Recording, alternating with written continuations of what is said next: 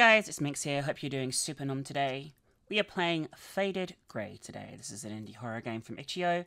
It's meant to be quite moving. So, uh, is that red eyes outside the window there? Oh, I went out. That's kind of creepy. Regardless, let's check it out, shall we? Just as well I am wearing headphones. I'm wearing Razer cat ear headphones. That's not sponsored or anything. I just am wearing them because I am a professional eagle.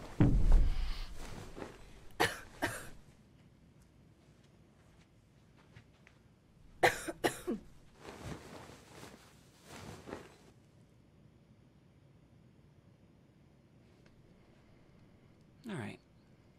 No flashlight? Seven pieces of evidence to find, it seems. Oh, we can turn lights on. That's nice. I like being able to see in my horror games, really. It's like a... It's quite a major selling point to me. I say selling point. This game is free, by the way. But still. It's been 20 years since my accident. Our family went to the cabin for vacation, and my uncle came along as well. He was the only one there when it happened. I still don't remember back then, but I've been having a lot of strange dreams lately. Maybe it's starting to make sense. Okay. So there was an accident 20 years ago, I believe she said. Would be very nice if these were subtitled, but I don't think. I think subtitling is probably harder than I think it is to put into a game. Like, I can subtitle a video pretty easily, but I don't know how, you know, it would work in game code, you know. Um, but I do think that, if possible, uh, game developers, you should try and put, um, you know, uh, that into your games because it makes it so much more accessible for everyone. I do like the fact I can light the house up nicely, though. Let's look around, see what we can find. I'm guessing we're going to have to find... My husband's putting the baby to sleep. I don't want to disturb them. Okay. So the husband and baby are both alive? That's probably a net plus, right?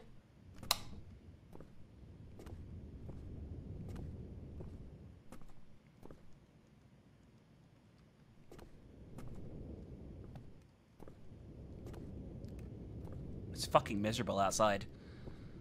It's like a typical night here. Jesus Christ. Oh, I can't light the candles?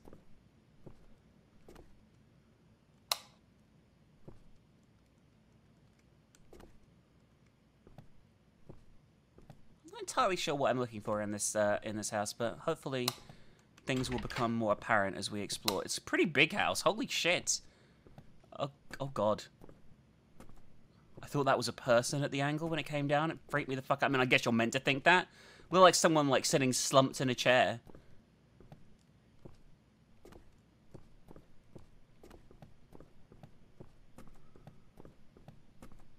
Wow. These guys are fucking loaded. Holy shit, this house is huge. I know Americans put like, uh, this is like a totally normal size house. Uh, to me, this is like ridiculously big. Oh, look at the nomkin. A toy rabbit I got from the hospital down the street. Okay. That one does not count as a a memory. Okay, so I have a flashlight now. A pretty terrible flashlight, but a flashlight nonetheless. That I found knocking around upstairs.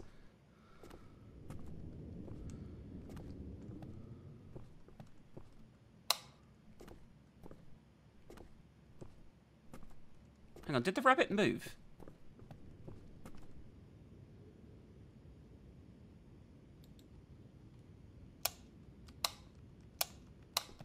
You have to power it up by clicking it off and on, by the way, which is one of the most obnoxious fucking things in in history. I understand flashlights like that exist in real life. God, I love this show but nobody wants to use one in the video game.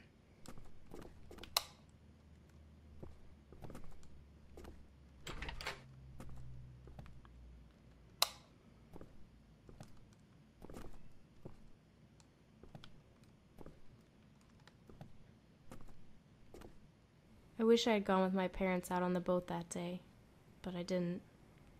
Earlier, I had been playing back behind the cabin and found a sinkhole. I don't remember it, but they said I saw something in the hole. It's probably just some animal, but all I told them at the time was it had red eyes. An animal with red eyes in a sinkhole. Okay, so this is taking a supernatural turn. Oh, I see.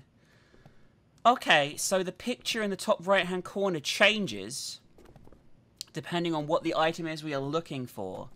So I had to find like the boat shaped thing. Okay, so this is probably the drawing of the creepy thing that's in the office upstairs. I'm not sure why I would have kept it for 20 years, but who cares? The rabbit is def. This is moving around the house, by the way, of its own accord, uh, which I find pretty unsettling at this point in time. So it's probably this next. Yes. After that, I was too scared to leave the cabin. So when my family went out that day, my uncle volunteered to stay with me. I never liked my uncle, so I must have been pretty scared to stay there alone with him. Oh, creepy uncle. This door just closed itself of its own accord, by the way. I just want to point that out.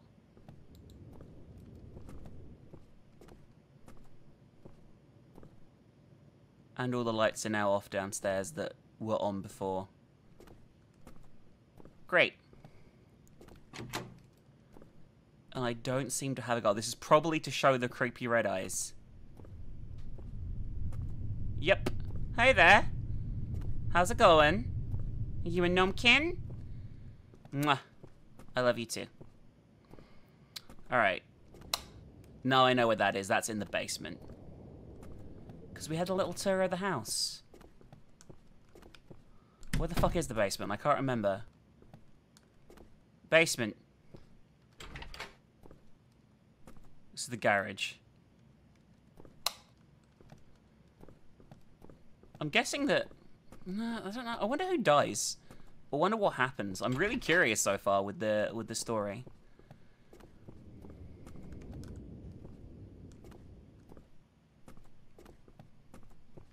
Here's the basement.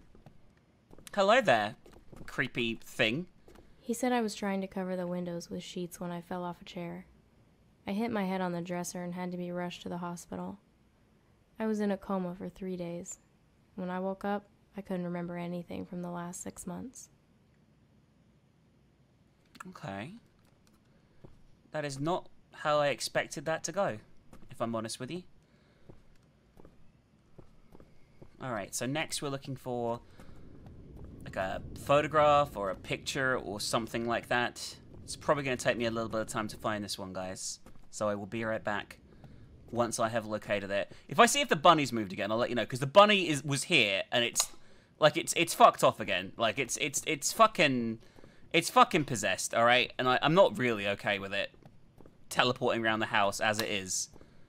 But um, unfortunately, you know, sometimes you just have to put up with teleporting rabbit shit.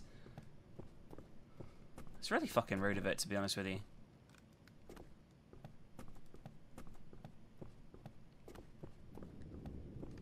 Aha! Well, my I didn't dad never really talked to my uncle after that. I guess he never believed my uncle's story. My dad would say that if there had been a monster at that cabin, it was him. Okay, I guess that's a photo of the cabin. There, you little shit. Where are you gonna go next, huh? Only two more items left to find. One of them. Next one is the couch. Right? Is there a couch in any of the? I mean, considering this house is so fucking huge, I wouldn't be surprised if we had multiple couches. If I'm honest with you, so yeah, it's one of these ones. This one. This one specifically. I haven't thought about the accident in the last few years, but lately it's been on my mind a lot. It's these dreams. They started a few months ago and now it's every night. In my dreams, I'm just sitting on the couch next to my uncle, watching the fire burn. As I turn and look at him, he's smiling back, but all I feel is fear. And then I hear the knocking. Oh fuck. I heard a knock.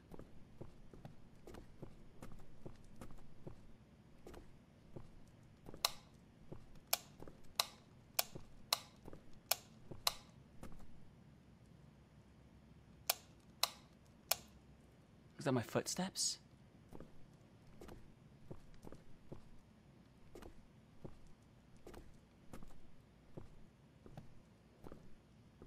I don't like the way this story is going, by the way.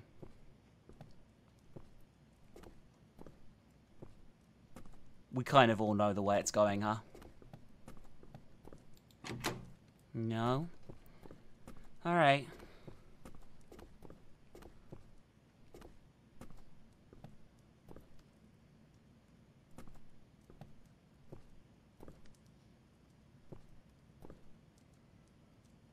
I'm hearing like little noises and it's creeping me the fuck out.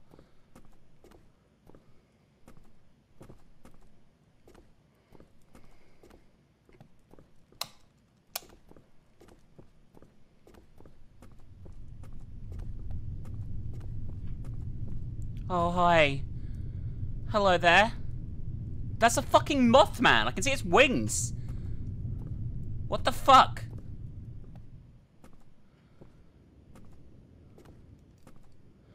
Alright. I guess this is... No, it's not. Alright, so we have a larger picture to find. I can do that. And this will presumably tell us something incredibly bum. To put it mildly, I think, at this point. Let's be real. I wonder if the bunny, like, symbolizes something more, like, significant. It's entirely possible. This is a very, very bleak game, though, the way this is going. Ah, maybe it's just painting over the uh, mantelpiece here. Yep. For a long time, I wanted to remember. It felt like an important part of who I am had been taken from me. But as these dreams keep getting stronger, well, maybe I'm maybe I'm better off not remembering.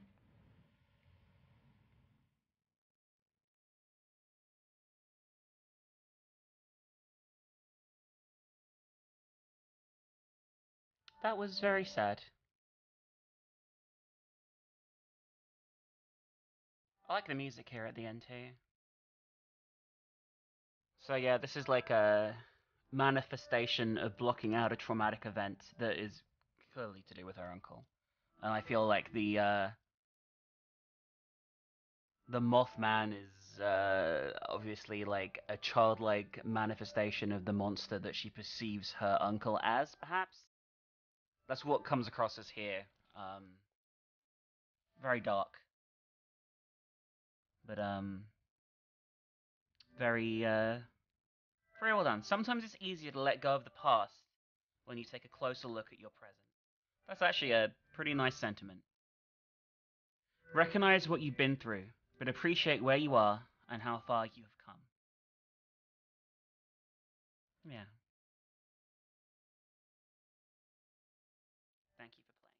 This was actually really sweet in like its message at the end there, and um, find out what happens when you can't forget. Go to si gate to site eight. Oh, is this another game? Let me have a quick look. An emotional walking simulator.